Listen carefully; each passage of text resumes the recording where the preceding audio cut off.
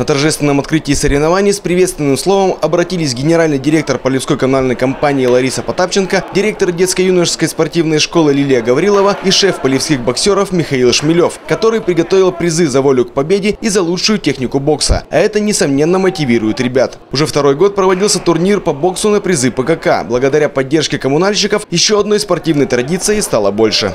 Полевская коммунальная компания ежегодно участвует в поддержке развития спорт... детского спорта. И э, вот это один из, из тех мероприятий, где мы являемся спонсором.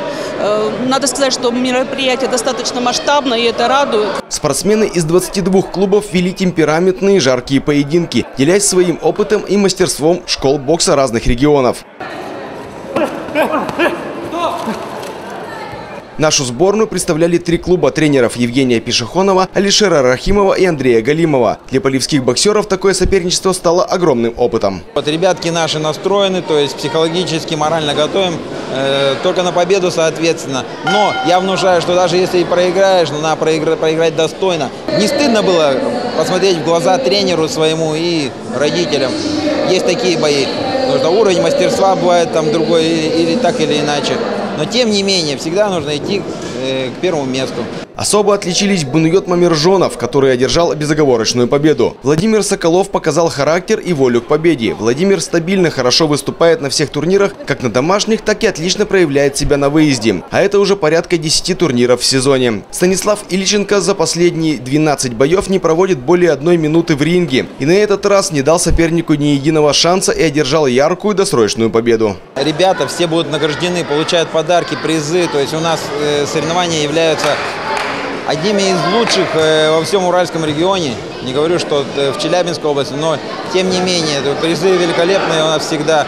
Огромные кубки, грамоты, медали, то есть все получают ребята. А также призы за лучшую технику, за волю к победе. То есть призовой фонд очень большой. Также отлично проявили себя Андрей Храмцов, Савелий Викулов, Роман Нардинов, Евгений Киберев, Дмитрий Корнеев, Лев Кузьмин и Илья Винокуров. Мне нравятся соревнования, я люблю, я люблю в них участвовать.